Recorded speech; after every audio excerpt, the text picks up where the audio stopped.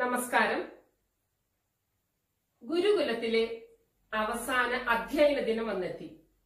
ഗുരുവിനെ പിരിയാൻ ശിഷ്യർക്കും ശിഷ്യരെ പിരിയാൻ ഗുരുവിനും ഏറെ വിഷമം തോന്നി.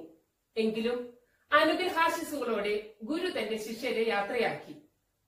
ഏറെ സന്തോഷത്തോടെ മനസ്സ് നിറയെ നന്ദിയോടെ ഗുരുവിന്റെ അനുഗ്രഹം വാങ്ങി ശിഷ്യർ യാത്രയായി. ഒരു ശിഷ്യൻ മാത്രം അതീവ ദുഃഖിതനായിരുന്നു. ഗുരു കാരണം തിരക്കി. ഗുരു ഈ ഭാഗ്യം കെട്ടവരോട് ക്ഷമിക്കണം. എന്റെ സഹപാഠികളെല്ലാം എത്ര ഭാഗ്യവാന്മാരാണ്. അവർക്ക് സമ്പത്തുണ്ട് ആരോഗ്യമുണ്ട് സൗന്ദര്യമുണ്ട് വിജ്ഞാനമുണ്ട്. എനിക്ക് എന്താണുള്ളത് ഗുരു തന്റെ ഇത്രയും കാലത്തെ പരിശീലനം പാഴായി പോയോ എന്നോർത്ത് അതീവ ദുഃഖിതനായി.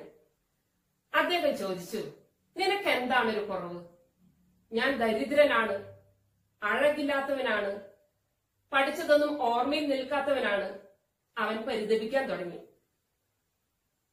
ഗുരു അവനോട് പറഞ്ഞു ഒന്നുമില്ലെങ്കിൽ നീ നിന്റെ രണ്ട് കണ്ണുകളും ചുഴുന്നെടുത്ത് എനിക്ക് തരിക. ഞാൻ നിനക്ക് ആയിരം സ്വർണ നാണയം തരാം. അയ്യോ പതിനായിരം സ്വർണ നാണയം തരാമെന്ന് പറഞ്ഞാലോ? എനിക്കെന്റെ കണ്ണുകൾ തരാനാകില്ല. ശിഷ്യന് പരിഭ്രമമായി.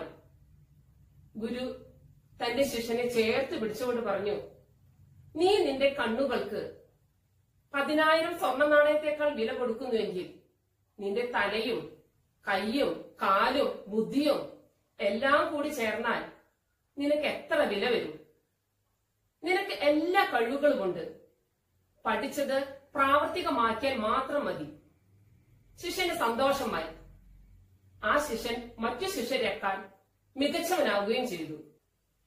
എന്റെ പ്രിയ കൂട്ടുകാരെ ഒന്ന് ചിന്തിച്ചു നോക്കൂ. നമ്മളിൽ പലരും ആ ശിഷ്യനെ പോലെയല്ലേ? നമ്മളിലെ കുറവുകൾ മാത്രം കണ്ടെത്തി. എനിക്ക് വിദ്യാഭ്യാസമില്ല പാട്ട് പാടാൻ കഴിവില്ല സൗന്ദര്യമില്ല ഇത്രയൊക്കെ പഠിച്ചിട്ടും ജോലിയില്ല. ഇങ്ങനെയെല്ലാം പരിതപിക്കുന്നവരല്ലേ? എന്നാൽ നമുക്ക് എന്തുണ്ട്? എന്തെല്ലാം കഴിവുകൾ നമുക്കുണ്ട്? ആ കഴിവുകൾ കണ്ടെത്തി അതിനെ ഒന്ന് പരിപോഷിപ്പിച്ചെടുത്താൽ നമ്മൾക്കും മറ്റുള്ളവരെക്കാൾ മികവുള്ളവരായിരിക്കാം.